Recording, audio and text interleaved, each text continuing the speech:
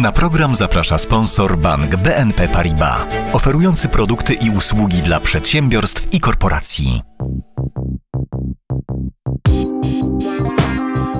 Puls biznesu do słuchania. Dzień dobry, nazywam się Marcel Zatoński, a to jest Puls biznesu do słuchania.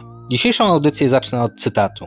Brzmi on tak. Władze publiczne prowadzą politykę sprzyjającą zaspokojeniu potrzeb mieszkaniowych obywateli. W szczególności przeciwdziałają bezdomności, wspierają rozwój budownictwa socjalnego oraz popierają działania obywateli zmierzające do uzyskania własnego mieszkania. To artykuł 75 Konstytucji RP. Nie da się ukryć, że działania obywateli zmierzające do uzyskania własnego mieszkania napotykają coraz to nowe przeszkody. W ostatnich latach ceny nieruchomości szybko rosły, a teraz na to wszystko nałożyły się rosnące stopy procentowe i spadająca zdolność kredytowa Polaków. Dlatego postanowiłem porozmawiać z analitykami rynku mieszkaniowego i przedstawicielami branży deweloperskiej o tym, w którym miejscu dziś jesteśmy. Jak ostatnie wydarzenia wpłynęły na koniunkturę, jaka będzie dynamika cen nieruchomości, jakie koszty rosną, co można z tym zrobić i jaki będzie to miało wpływ na zaspokojenie naszych potrzeb mieszkaniowych. Niezależnie od tego, czy macie Państwo własne cztery kąty, czy żyjecie w wynajmowanym mieszkaniu, zapraszam do słuchania. Puls biznesu do słuchania. Co miesiąc Puls Biznesu i nasz bratni serwis bankier.pl publikują indeks Urban One, przygotowywany przez firmę Cenatorium i mówiący o koniunkturze na rynku lokali mieszkalnych w Polsce. Ostatnia publikacja na ten temat mówiła o panujących od kilku miesięcy pesymistycznych nastrojach co do przyszłości rynku nieruchomości. O szczegółach postanowiłem porozmawiać z Małgorzatą Wełnowską, starszą analityczką do spraw rynku nieruchomości w Cenatorium, którą na początek pytam o to, jak obecnie kształtują się ceny transakcyjne i czy widać różnicę między rynkiem pierwotnym i wtórnym.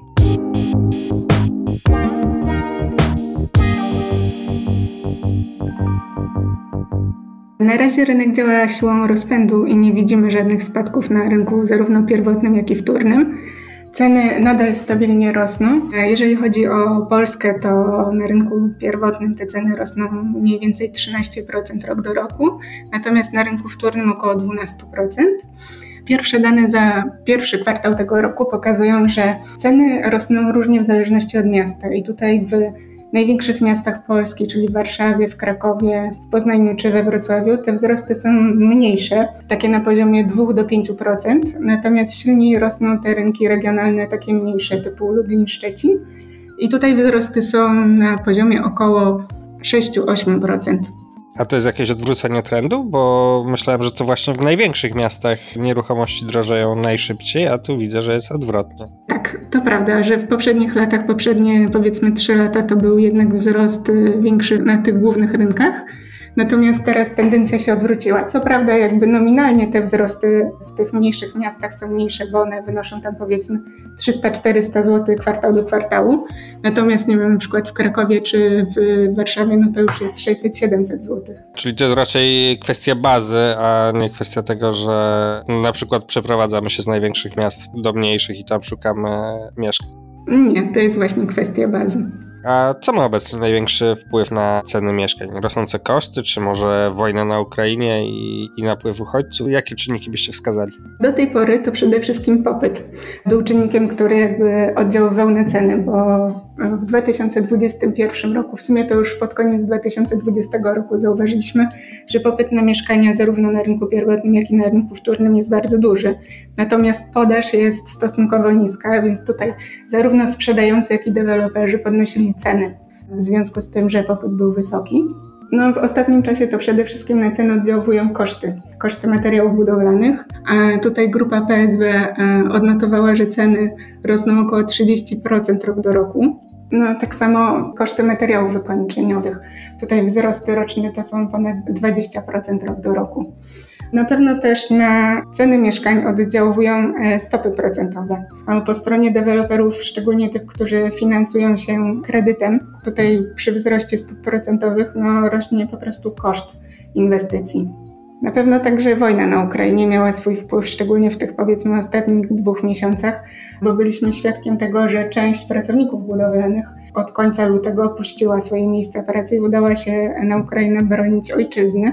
Więc deweloperzy mieli problem jakby z uzupełnieniem kadry pracowniczej. No a to oczywiście spowodowało, że nastąpiła presja płacowa po stronie pracowników. No i wiadomo, deweloperzy też jakby nie chcieli schodzić ze swoich marsz, więc no, ceny automatycznie poszły do góry. Te rosnące koszty pewnie mogą się przełożyć na ceny mieszkań również e, w kolejnych miesiącach, no ale właśnie, jak według Pani będą się kształtować te ceny i co będzie miało wpływ na ich dynamikę, bo rozumiem, że są i czynniki sprawiające, że może być drożej, ale też są pewne czynniki, które sprawiają, że może być taniej, no bo trochę też popyt siadł, jak rozumiem. No tak, e, są zarówno czynniki prowzrostowe, jak i czynniki, które będą hamować te wzrosty. No do czynników napędzających ceny no na pewno trzeba zaliczyć rosnące koszty realizacji inwestycji deweloperskich, koszty materiałów budowlanych i koszty wykończenia mieszkań tutaj przy rynku wtórnym. Na pewno problem właśnie z pracownikami to, co słyszymy jakby od kilku miesięcy. Poza tym przy rynku pierwotnym jest nadal problem z pozyskaniem gruntów pod zabudowę. Te grunty, szczególnie w dużych miastach, są drogie i bardzo często nie mają miejscowych planów, które pozwalałyby na zabudowę wielorodzinną, więc tutaj też czas oczekiwania na pozwolenie na budowę jest długi i to też generuje koszty właśnie wzrost kosztów finansowania inwestycji w związku z e, wzrostem stóp procentowych. Także jeżeli chodzi o rynek pierwotny, to tutaj ważną datą jest 1 lipca, bo od 1 lipca wchodzi nowelizacja ustawy deweloperskiej, która będzie nakładała na deweloperów szereg nowych obowiązków i tu po stronie deweloperskiej wzrosną koszty prowadzenia działalności. To też zapewne zostanie jakby uwzględnione w cenach mieszkań. Na rynku wtórnym, w związku z tym, że w ostatnich dwóch miesiącach wystąpił bardzo duży popyt na mieszkania, ze względu na napływ uchodźców, to się spodziewamy, że ten popyt jakby utrzyma się i będzie też dość duży popyt na rynku wtórnym właśnie na mieszkania. Z tego powodu sądzimy, że tradycyjne flipy, które były popularne w 2019, jeszcze na początku 2020 roku znów wrócą do łask. Czym są tradycyjne flipy? Dopytam dla ludzi, którzy, tak jak ja, nie siedzą mocno w branży mieszkaniowej, deweloperskiej. Flip polega na tym, że kupujemy mieszkanie z rynku wtórnego, najczęściej do remontu. Wykańczamy takie mieszkania w przeciągu kilku tygodni i sprzedajemy je z zyskiem po tych kilku tygodniach. I rozumiem, że o coś takiego jest teraz znacznie trudniej. Tak, dokładnie. Szczególnie, że właśnie pandemia spowodowała to, że na początku 2020 roku był jakby zmniejszony popyt na tego typu mieszkania, a teraz mamy też problem jakby z materiałami wykończeniowymi z pracownikami budowlanymi. Więc tutaj ten czas jakby tego flipa się wydłużył co dla inwestorów, którzy inwestują na tym rynku, no jest jakby stratą pieniędzy, tak? Bo im dłużej czekamy na wykończenie, tym dłużej czekamy na klienta. A jakie czynniki mogą Pani zdaniem w dłuższej perspektywie wpłynąć na spadek cen mieszkań? Czy może jednak nic nie wpłynie i nie ma się co spodziewać, że będzie tak? Nie, no na pewno będą. Już są czynniki, które powodują, że lokalnie możemy zaobserwować spadki cen. Tutaj przede wszystkim no, wzrost stóp procentowych, takie ograniczenie akcji kredytowej. To jest główny czynnik, który jednak ten popyt hamuje i nadal będzie hamował. Wiemy o tym, że KNF wydał tam rekomendację mówiącą o tym, żeby banki naliczały zdolność kredytową o 5 punktów procentowych wyższą od e, aktualnie obowiązującej stopy. Więc tutaj to jest bardzo duży czynnik, który hamuje właśnie popyt. Szczególnie, że no, zakupy na kredyt stanowią większość zakupów mieszkaniowych w naszym kraju. Bardzo dziękuję za rozmowę. Moim gościem była Małgorzata Wełnowska, starszy analityk do spraw rynku nieruchomości w Senatorium. Dziękuję bardzo.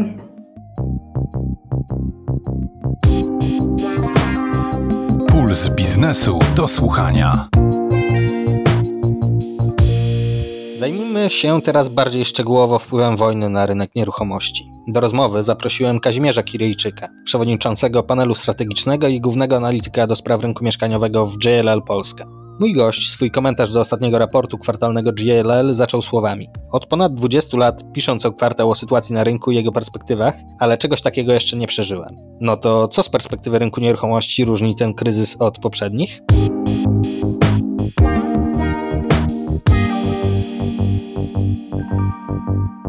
No, nietypowe jest wystąpienie kilku bardzo silnie negatywnych czynników w krótkim czasie i jednocześnie bardzo wysoki poziom niepewności. Pierwsza rzecz, no, której się nie tylko nie spodziewaliśmy w większości, ale również nigdy nie przeżyliśmy, to wojna dziejąca się na terytorium naszego sąsiada, którą prowadzi z nim drugi nasz sąsiad.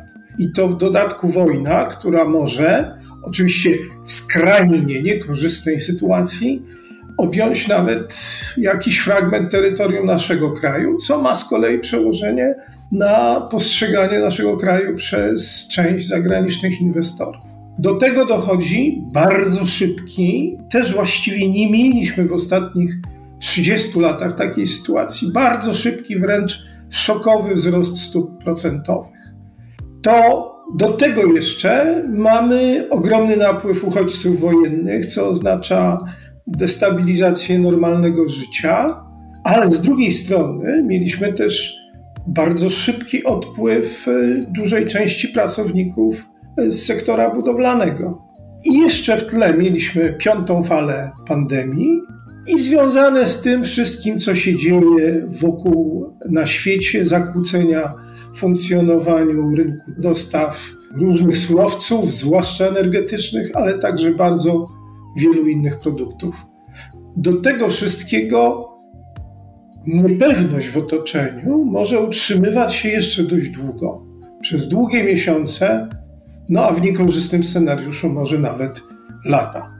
To może najpierw skupmy się na jednym z tych e, aspektów, no bo w pierwszych tygodniach po wybuchu wojny było przede wszystkim ofert najmu mieszkań. Czy widać to dalej, czy sytuacja na rynku najmu zaczyna się normować, czy stabilizować? Trudno mówić dzisiaj o normowaniu się sytuacji na rynku najmu, bo ofert jest nadal bardzo mało. To jest 20-25% tego, co było w ofercie jakieś pół roku temu, 9 miesięcy temu. Nie widzimy także oznak jakiegoś spadku czynszów. Ale trzeba pamiętać, że jak mamy tak małą ofertę, to ona jest mało reprezentatywna. W tej podaży mamy relatywnie więcej niż zwykle drogich apartamentów, które się zawsze dużo dłużej i dużo trudniej wynajmowały. Ten wzrost popytu na mieszkania na wynajem ma kilka przyczyn. Wcześniej, jeszcze przed wybuchem wojny, był powrót studentów na uczelnie i pracowników do biur, i to widzieliśmy w drugiej połowie ubiegłego roku. Potem nastąpił napływ uchodźców i gwałtowny wzrost popytu na mieszkania na wynajem, a nałożyło się na to jeszcze zjawisko takiego stopniowego napływu na rynek najmu osób, które muszą odłożyć w czasie zakup mieszkania. Jeśli myślimy o jakiejś poprawie, to tak naprawdę wyraźna poprawa nastąpi wtedy, gdy uchodźcy z Ukrainy zaczną masowo wracać do swojego kraju. Dzisiaj trudno przewidzieć, kiedy to nastąpi. Jeśli chodzi o te dwa pozostałe strumienie popytu na rynku najmu, to liczba studentów i pracowników poszukujących mieszkań na wynajem powinna się jakoś ustabilizować. Pewnie to jeszcze trochę potrwa, ale w ciągu tego roku to już powinno nam się stabilizować i ta liczba nie powinna już bardzo wyraźnie rosnąć. Natomiast te problemy z zakupem lokali na kredyt i w związku z tym taki stały napływ, ale stopniowy osób, które nie mogą sobie pozwolić na zakup mieszkania, a chcą się jakoś usamodzielnić, to to zjawisko pewnie pozostanie z nami na dłużej. To teraz porozmawiajmy przez chwilę o cenach transakcyjnych mieszkań i o tym, w jaki sposób wojna za wschodnią granicą, rosnące stopy i wysoka inflacja wpływają na popyt, no i podaż mieszkań. No bo co teraz bardziej cierpi? Chyba popyt. Tak, to może zacznijmy od popytu i przede wszystkim trzeba podkreślić, że mamy do czynienia z dwiema głównymi kategoriami nabywców. Tych, którzy muszą i chcą skorzystać z kredytu przy zakupie i tych, którzy w całości albo w ogromnej części planują e, sfinansować zakup za gotówkę. I pierwsi to głównie ci, którzy chcą kupić na własne potrzeby, po to, żeby w tym mieszkaniu mieszkać. W tej drugiej grupie przeważają ci, którzy nie muszą kupić mieszkania dziś, bo oni chcą przede wszystkim uchronić swoje pieniądze, swoje oszczędności przed inflacją, chcą rozsądnie zainwestować swój kapitał. Podwyżki stóp procentowych i te zwłaszcza nowe zasady liczenia zdolności kredytowej od kwietnia sprawiły, że część potencjalnych nabywców kredytowych po prostu z rynku zniknęła. Popyt kredytowy w ciągu dwóch miesięcy zmalał o kilkadziesiąt procent w porównaniu z sytuacją sprzed kilku miesięcy. Natomiast zupełnie inna jest sytuacja nabywców rozważających zakup za gotówkę. Oni nadal mają problem, to znaczy nadal mają pieniądze i nadal wysoka inflacja skłania ich do poszukiwania bezpiecznej inwestycji. Natomiast to, co wstrzymuje jakąś część nabywców w tej grupie, to wątpliwość, czy ceny nadal będą rosnąć i czy nie powinni jednak trochę poczekać zakupem, no, żeby się dowiedzieć, czy ceny przypadkiem nie spadną, czy to na pewno będzie dobra inwestycja. Z drugiej strony, jak patrzymy na podaż, to ona też została silnie ograniczona, dotknięta silnymi ograniczeniami, a przede wszystkim ze względu na y, wzrost kosztów budowy, a może nawet jeszcze bardziej ze względu na nieprzewidywalność tych kosztów, no bo ten proces y, budowy trwa przecież w przypadku przeciętnej inwestycji dwa lata albo nawet czasem trochę dłużej. A jeśli patrzymy na podaż jako na wielkość oferty mieszkań, które są do kupienia, to ma na to wpływ jeszcze zbliżający się termin wejścia w życie ustawy o deweloperskim funduszu gwarancyjnym, ponieważ część inwestycji, które teraz pojawiają się w sprzedaży i które jeszcze się mogą do końca czerwca pojawić w sprzedaży, może mieć taki charakter papierowy, czyli służyć temu, żeby sobie zapewnić możliwość sprzedawania, czyli żeby deweloperzy mogli sobie zapewnić możliwość sprzedawania w przyszłości pewnej puli mieszkań bez konieczności spełnienia wymogów nowej ustawy. W związku z tym jest problem z liczeniem tej podaży. Trzeba będzie popatrzeć na nią tak naprawdę w perspektywie całego roku, bo może się okazać, że w drugiej połowie roku liczba mieszkań wprowadzanych do sprzedaży z kolei bardzo wyraźnie się zmniejszy.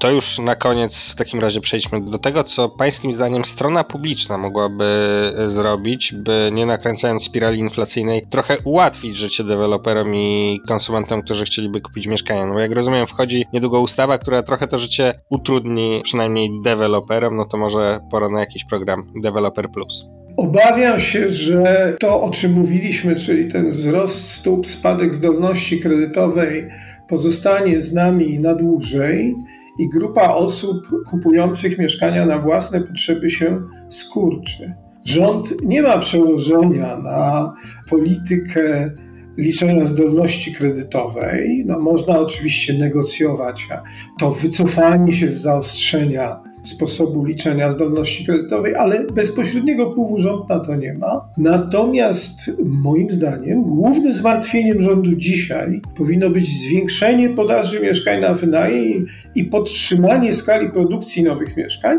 bo jak tego się nie zrobi, to deweloperzy po prostu będą budować mniej, będą budować tyle, ile będą w stanie sprzedawać. No dobrze, to jak to można by było zrobić? No trzeba by zachęcić prywatny kapitał, zwłaszcza instytucjonalny, jak i ten pochodzący z oszczędności osób fizycznych, do inwestowania w lokale na wynajem. Ja przypomnę, że w latach 90.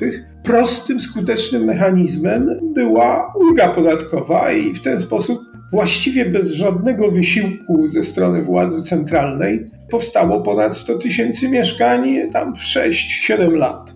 No, problem polega na tym, że ja mam poważną wątpliwość, czy w warunkach zbliżającej się kampanii wyborczej rząd będzie chciał wspierać posiadaczy większych oszczędności i sektor deweloperski, czy raczej, no niestety, wybierze walkę z właścicielami mieszkań, które albo są wynajmowane, albo mogłyby być wynajmowane.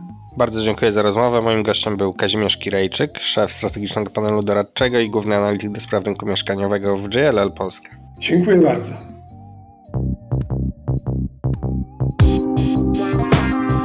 Puls biznesu do słuchania. Teraz spójrzmy na sytuację na rynku z perspektywy deweloperów. Do rozmowy zaprosiłem Konrada Płochockiego, dyrektora generalnego Polskiego Związku Firm Deweloperskich. Związek niedawno prognozował, że w tym roku sprzedaż nowych mieszkań spadnie nawet o 20-30%. Jakie będą przyczyny tego spadku?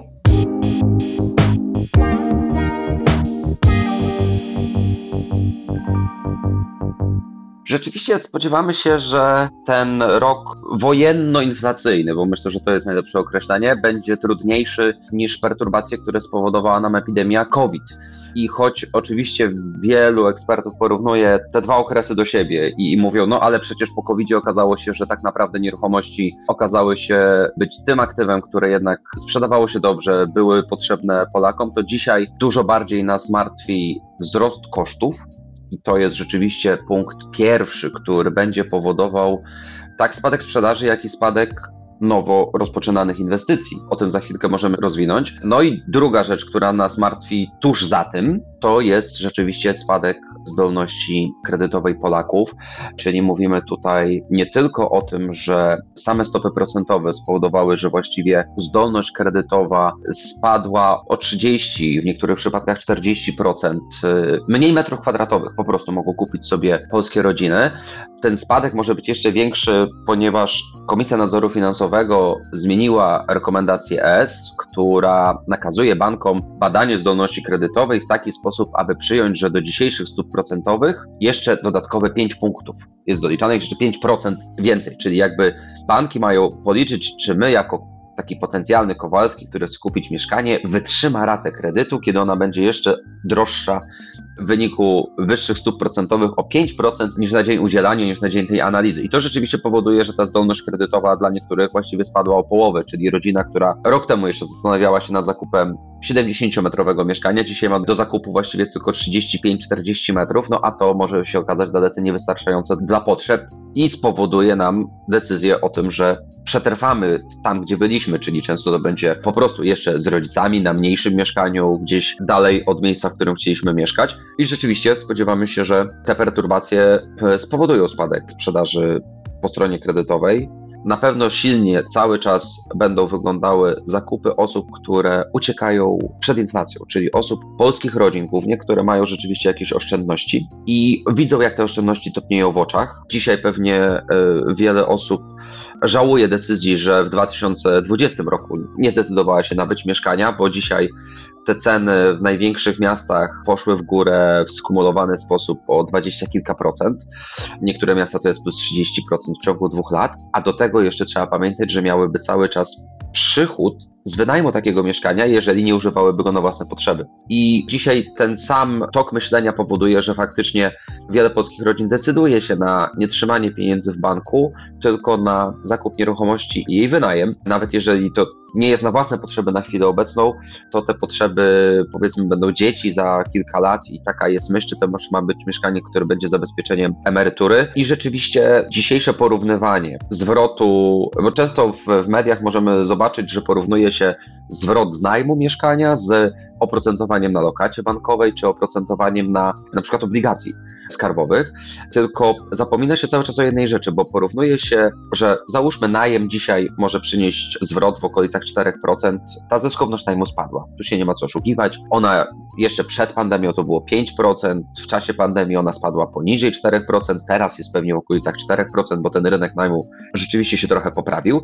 No ale musimy pamiętać, że jeżeli ktoś ma, załóżmy milion złotych, żeby nam było łatwo liczyć, chociaż to będzie więcej niż przeciętny kupujący mieszkanie wydaje na mieszkanie, no ale powiedzmy, że milion złotych mamy, jeżeli wydamy je na mieszkanie, to po roku odbierzemy około 4% zwrotu w postaci opłat za najem, ale dodatkowo sprzedamy to mieszkanie i teraz sprzedamy nie po wartości nominalnej miliona, tylko po wartości tyle, ile będzie warte na rynku. No i dzisiaj, gdyby ktoś spojrzał sobie na taki zakup z 2020 roku, załóżmy, że wydał wtedy milion, to okazałoby się, że odzyskał po 4% rocznie z najmu, czyli y, jakieś no tutaj prawdopodobnie 80 tysięcy minus podatek, który trzeba zapłacić. Powiedzmy 60 tysięcy zostało mu na czysto, czyli ma milion 60, ale ma mieszkanie, które jest warte dzisiaj więcej o około 20, może 20 kilka procent, czyli realnie mógłby sprzedać je za milion 260. To powoduje, że taka skumulowana wartość tej inwestycji jest absolutnie nieporównywalna w stosunku do żadnych innych bezpiecznych instrumentów lokowania oszczędności, bo oczywiście można porównać te zwroty z, z rynkami akcji, z jakimiś bardziej ryzykownymi instrumentami, które oczywiście mogą mieć nawet jeszcze lepsze zwroty, ale rynek nieruchomości jest po prostu dużo bardziej stabilny i zdarzają się tak wzrosty, jak i zdarzają się spadki. I trzeba sobie to z całą pewnością trzymać z tyłu głowy tą myśl, że tak, spadki cen nieruchomości mogą się przytrafić okresowo, natomiast jeżeli patrzymy na to w długim horyzoncie, to rzeczywiście historycznie te nieruchomości jednak pokazują tą tendencję, że one podążają za gospodarką i wraz z rosnącą gospodarką drożeją nawet trochę szybciej niż wzrost gospodarczy. To teraz e, spójrzmy przez chwilę na koszty firm deweloperskich, no bo jak rozumiem w porównaniu z ubiegłym rokiem koszty budów znacznie wzrosły, to jakie może mieć to konsekwencje dla rynku, no i co Wam najbardziej drożeje? Oczywiście najbardziej szokowy wzrost jest na rynku cen stali i niektórych e, materiałów izolacyjnych. Natomiast, żeby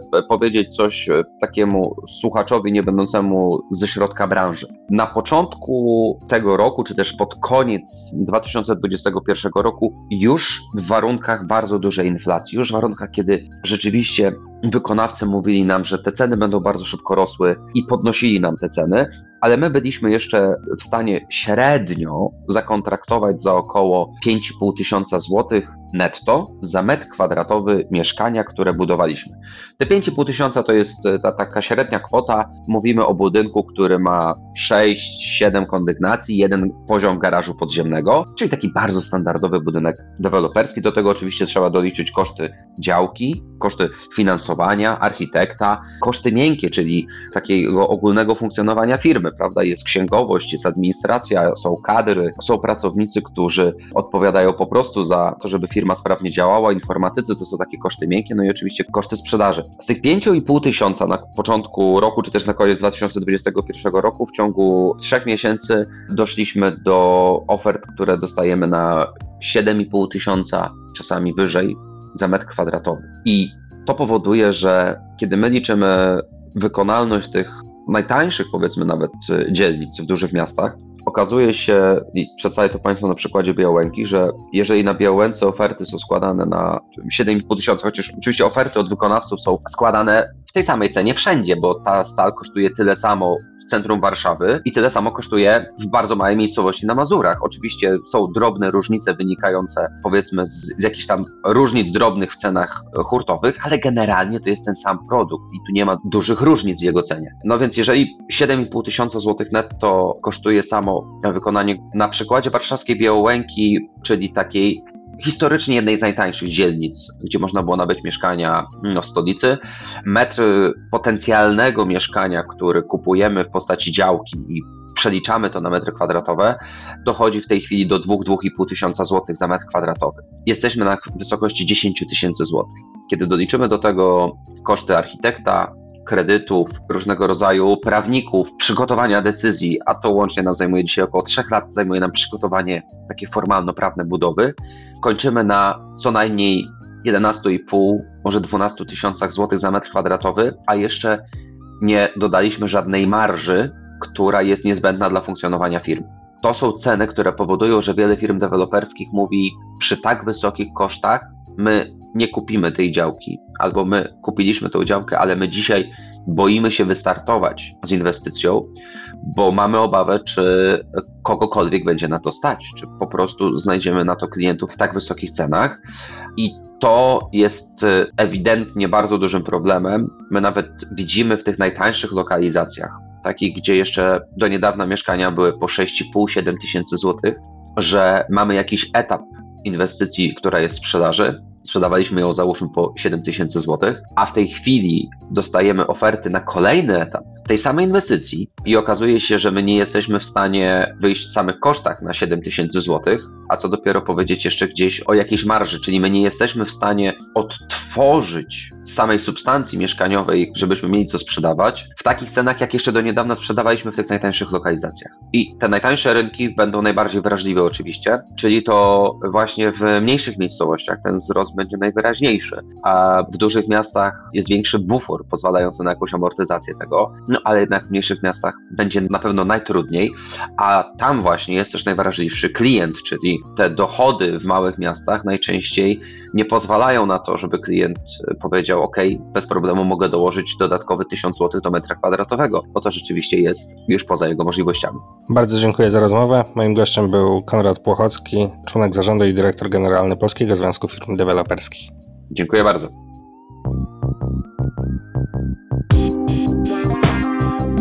Puls biznesu do słuchania. Przedstawiciele branży nieruchomościowej zazwyczaj mówią, że będzie drożej i dobra pora na zakup mieszkania była wczoraj, ale w ostateczności można kupić jeszcze dzisiaj, byle nie jutro. To jak? Będzie drożej? Jeśli tak, to dlaczego? Odpowiedź na te pytania poprosiłem Tomasza Narkuna, analityka i inwestora na rynku nieruchomości.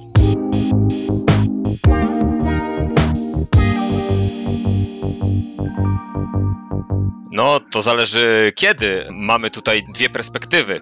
Perspektywa taka przyszłościowa, która się wydarzy dziś powiedzmy za 3-4 lata, no to mogę dziś powiedzieć, że będzie drożej, z tego względu, że deweloperzy mają coraz bardziej rygorystyczne warunki, w jakich muszą budować budynki. Te budynki będą musiały być bardziej ekologiczne. Poza tym sam rynek wymusi zmiany, które podrożą ten koszt budowy, między innymi lepsze części wspólne, to będzie e, bardzo popularne budownictwo mixed use. Deweloperzy będą budować budować takie miasteczka mieszkaniowe 15-minutowe, co oczywiście podroży koszt budowy. Dopytam od razu, co to znaczy 15-minutowe miasteczko. To znaczy, że będzie tam cała infrastruktura niezbędna, że wszystkie sprawy generalnie będziemy mogli załatwić w ciągu 15 powiedzmy minut, nie udając się gdzie indziej, powiedzmy w inne rejony miasta. Także to będą wszelkiego rodzaju na przykład sklepy, siłownie, apteki, przedszkola i tym podobne jakieś tam e, publiczne kwestie. Także ten trend jest, jest wszędzie. Poza tym same tereny takie dość atrakcyjne się kończą i deweloperzy będą zmuszeni do budowania na terenach na przykład poprzemysłowych albo na terenach, które będą pod konserwatorem zabytków. Także ta dostępność gruntów w dobrych lokalizacjach się kończy. Poza tym, dlaczego jeszcze będzie drożej kiedyś? Z tego względu, że nasza siła nabywcza się przede wszystkim będzie coraz bardziej zwiększała, coraz więcej pieniądza jest na rynku, nie tylko tego naszego krajowego, bo chciałbym powiedzieć, że Urban Land Institute to jest taki e, instytut, który bada jakby atrakcyjność miast. No, plasuje już Warszawę z roku na rok coraz wyżej pod względem inwestycyjnym i teraz kapitał zaczyna się powoli przesuwać z takich safe haven nieruchomościowych jak Berlin, Londyn, Paryż, to jest wielka trójka niezmienna od lat w kierunku, no oczko puszczają już e, zagraniczni inwestorzy na Pragę, na Bukareszt i na Warszawę. Także myślę, że jeżeli chodzi o to, no to w dużej perspektywie będą, będą inwestowali w naszej stolicy. Nasz kraj się cały czas jest na ścieżce wzrostu, a nieruchomości są bardzo, bardzo uzależnione od ścieżki wzrostu. A teraz przejdźmy do drugiej kwestii. No, jesteśmy dziś na szczycie takiego dziesięcioletniego cyklu deweloperskiego. To jest cykl książkowy, można powiedzieć, który omija co drugi cykl koniunkturalny. W związku z tym można się spodziewać około 8 do 10 kwartałów takiej gorszej koniunktury na rynku nieruchomości. Czym się ten koniec cyklu charakteryzuje tak książkowo? No to przede wszystkim gospodarka z fazy takiej ożywienia przechodzi w fazę recesji.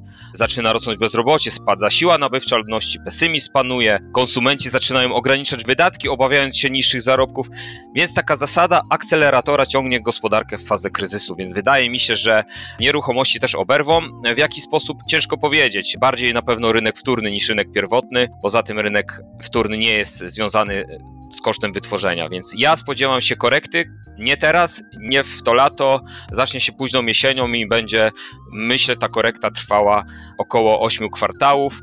Potem fundamenty nadal są bardzo silne, chociażby jeden z głównych fundamentów, czyli rosnąca liczba gospodarstw domowych oraz centralizacja oczywiście, tak, czyli gromadzenie się ludności wokół dużych miast. Ceny mieszkań rosną, ale nie wszędzie i nie we wszystkich segmentach w takim samym tempie. No to jakie mieszkania mogą stać się dla deweloperów na tyle trudno sprzedawalnym produktem, że trzeba będzie e, szybciej obniżyć ich ceny? Przede wszystkim to będą mieszkania powyżej 60 m2, które dotychczas były kupowane przez e, rodziny czy osoby, które kupowały je na własne cele mieszkaniowe.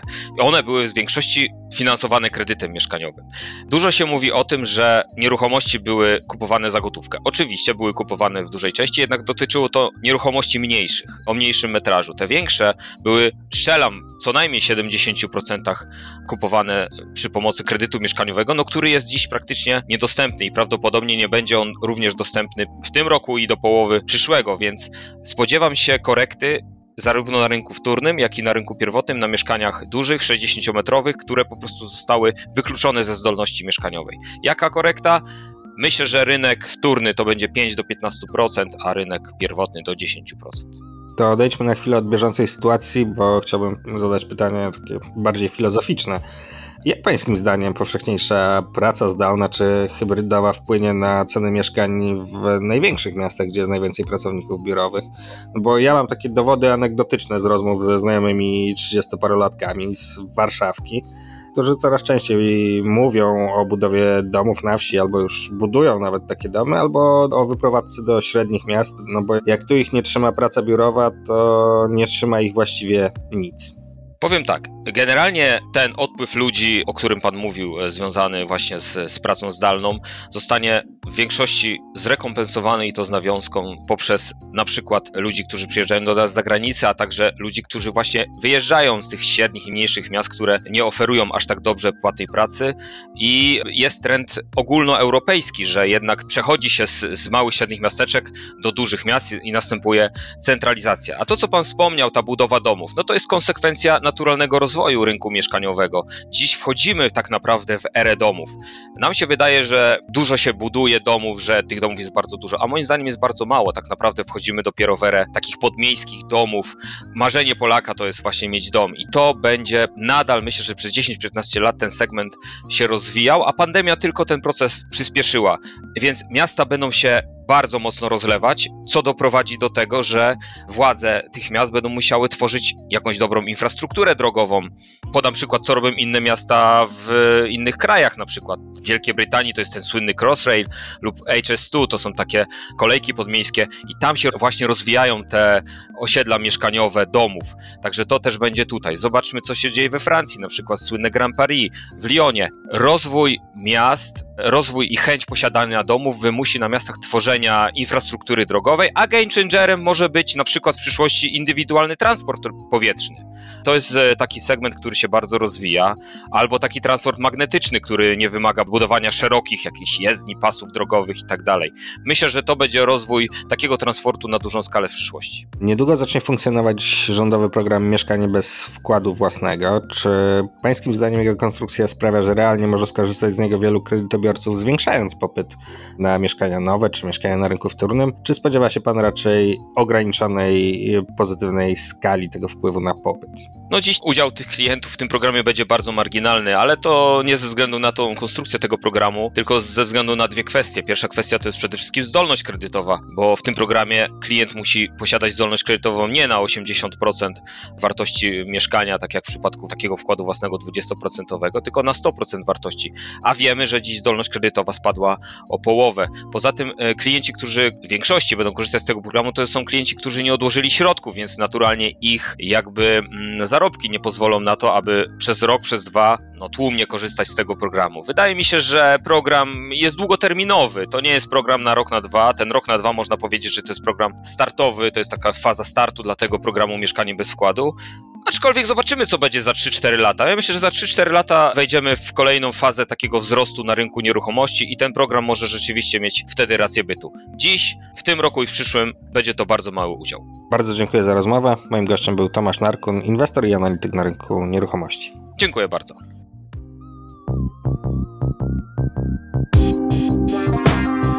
Puls biznesu do słuchania. Na zakończenie dzisiejszej audycji spójrzmy na wszystko z perspektywy makro.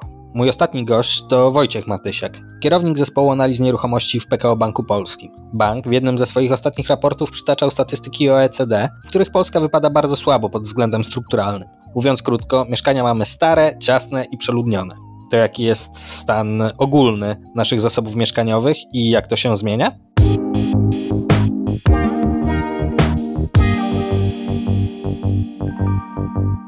Faktycznie, jeżeli popatrzymy sobie na liczbę mieszkań na tysiąc mieszkańców, na tle innych krajów, w szczególności na tle krajów europejskich, Polska wypada tutaj słabo. Wypada to około 400 mieszkań na tysiąc mieszkańców. No to jest znacznie mniej niż w krajach Europy Zachodniej.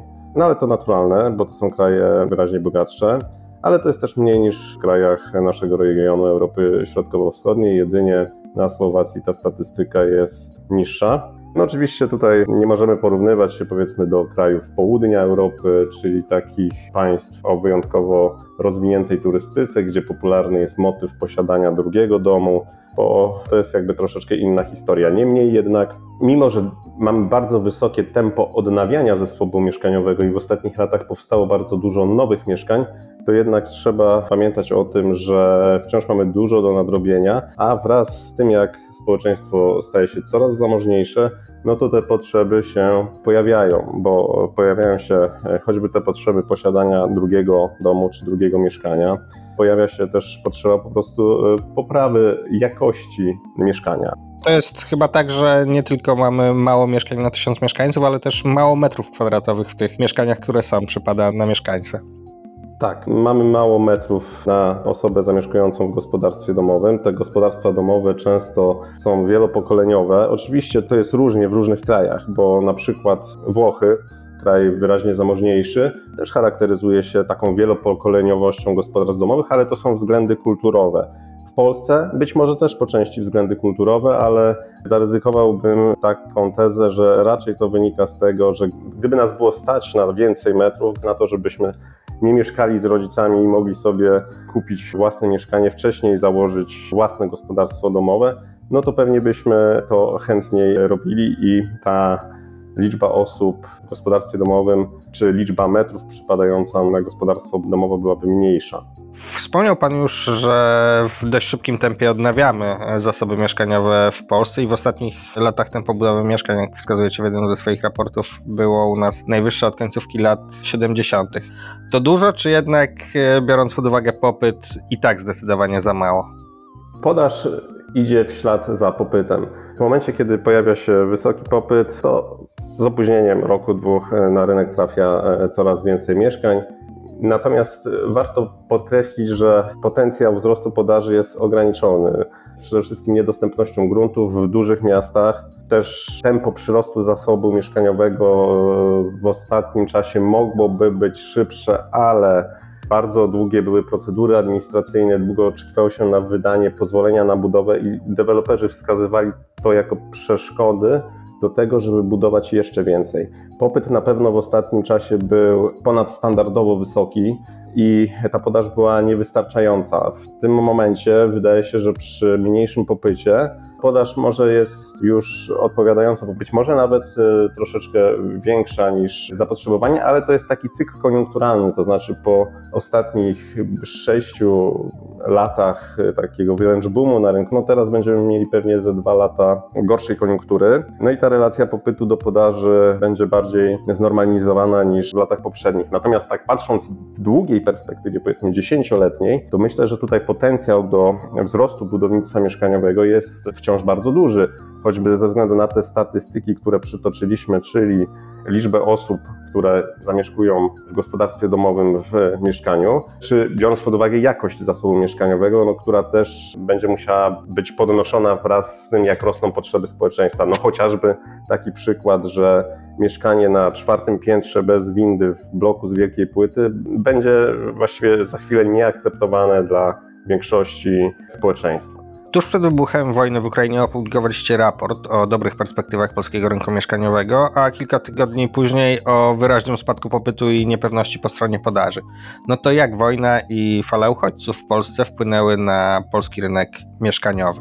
Jeżeli chodzi o te dobre perspektywy budownictwa mieszkaniowego, no to one są właśnie, tak jak wspominałem, w perspektywie długookresowej. Ta perspektywa dwóch najbliższych lat to są raczej y, słabe perspektywy dla firm deweloperskich. Tutaj pewnie one się muszą liczyć z niższymi marżami niż w ubiegłych latach, kiedy no, mieliśmy boom na rynku.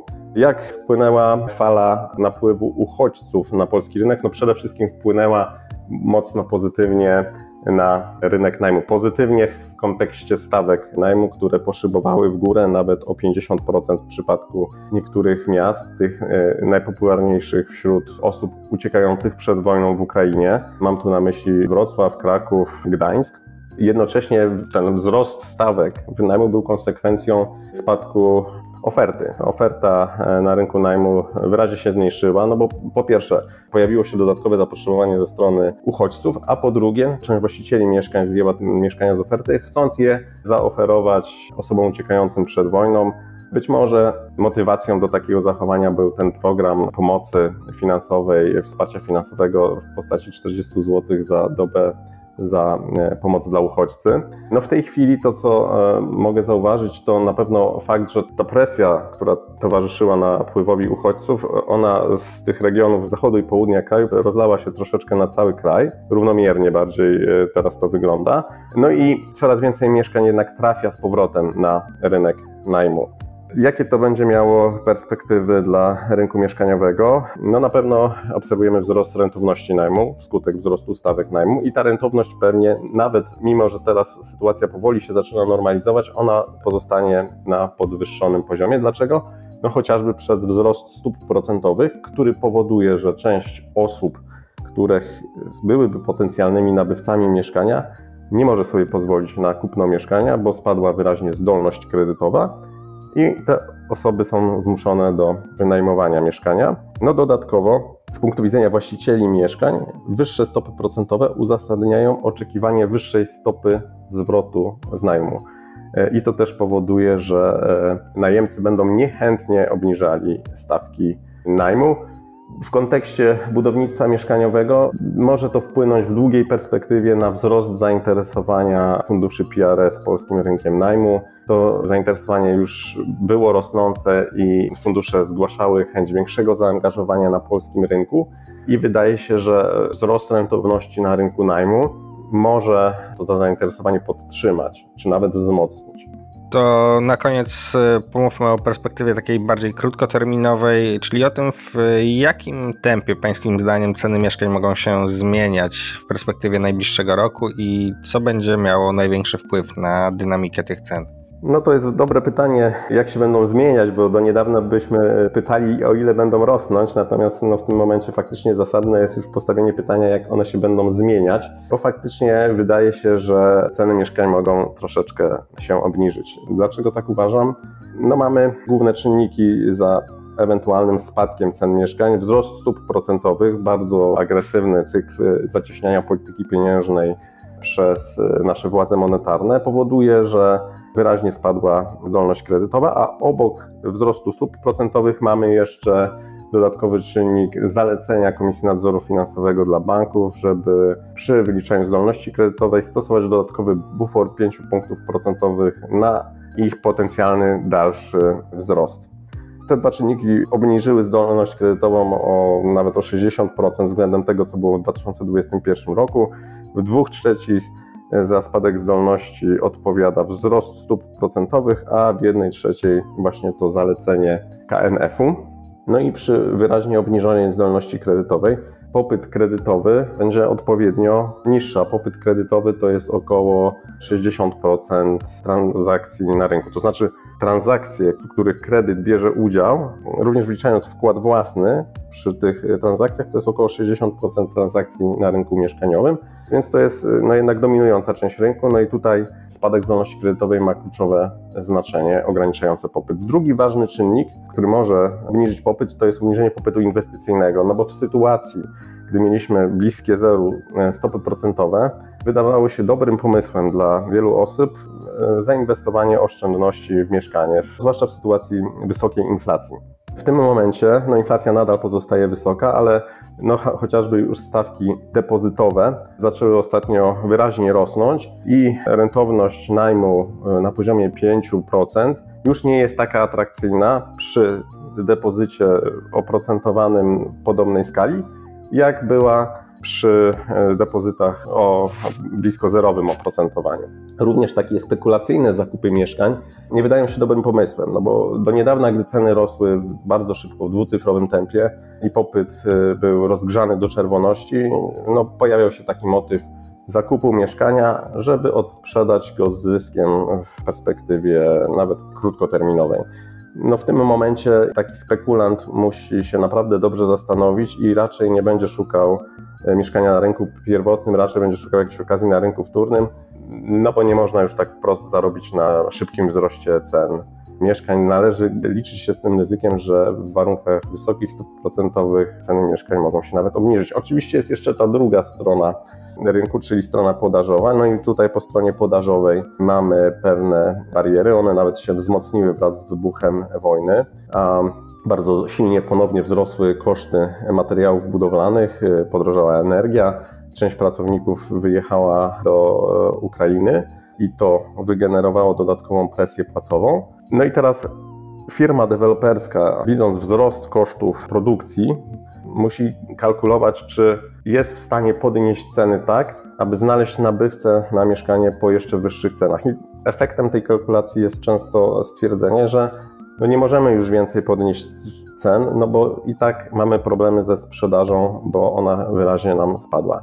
I często konkluzją będzie ograniczanie nowych e, inwestycji mieszkaniowych przez firmy deweloperskie. W związku z czym no w perspektywie powiedzmy dwóch e, lat e, podaż mieszkań może się wyraźnie zmniejszyć. I z tym wiązałbym ewentualne perspektywy ożywienia rynku, to znaczy właśnie za jakieś 2-3 lata, gdzie popyt może zacznie się odbudowywać, może przyjdą obniżki stóp procentowych, może gospodarka wyjdzie z recesji, wejdzie w fazę ożywienia gospodarczego, a z drugiej strony będziemy mieli efekty redukcji podaży, które będą e, efektem tych decyzji, które zapadają teraz. Bardzo dziękuję za rozmowę. Moim gościem był Wojciech Matysiak, kierownik zespołu analiz nieruchomości w PKO Banku Polskim. Dziękuję bardzo. Puls biznesu do słuchania. Na tym kończymy dzisiejszą audycję. Mam nadzieję, że była ona ciekawa i dla tych, którzy dopiero myślą o kupnie własnego mieszkania, i dla tych, którzy rozglądają się za nieruchomościami inwestycyjnymi. Za tydzień w Państwa głośnikach i słuchawkach zawita Marcin Bołtryk. A skoro Marcin, to temat będzie motoryzacyjny. Tym razem będzie mowa o produkcji aut w Polsce. Serdecznie polecam i dziękuję za uwagę. Nazywam się Marcel Zatoński, a to był Puls Biznesu do słuchania. Puls biznesu do słuchania. Na program zapraszał sponsor bank BNP Paribas, oferujący produkty i usługi dla przedsiębiorstw i korporacji.